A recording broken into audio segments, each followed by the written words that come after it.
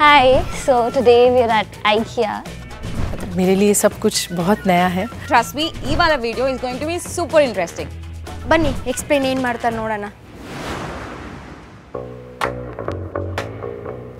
hi Jaina Jasleen, hi Sanju